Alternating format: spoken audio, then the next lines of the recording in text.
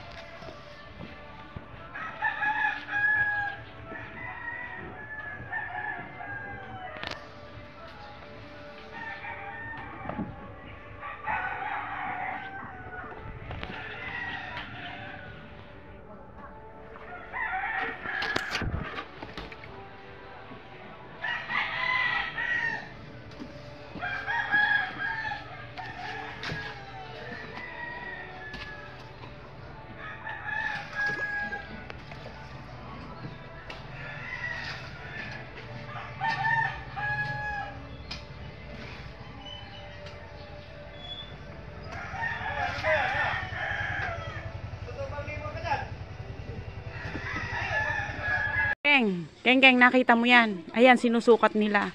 Kung ilang hollow blocks pa ang kaila kakailanganin. Kasi tapos, ah, ubos na daw yung, yung, yung hollow blocks mo na 500 pieces.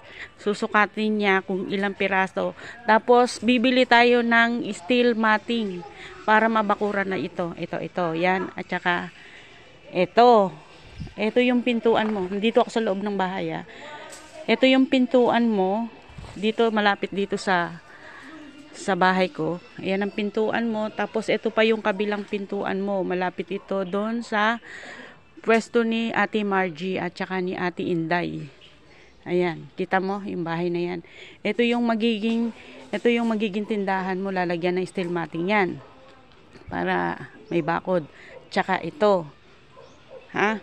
Tapos bibili pa tayo ng na magkukulang pa yung semento mo, dadagdag tayo ng semento. Tsaka kung ano man ang kulang, ha? Sige.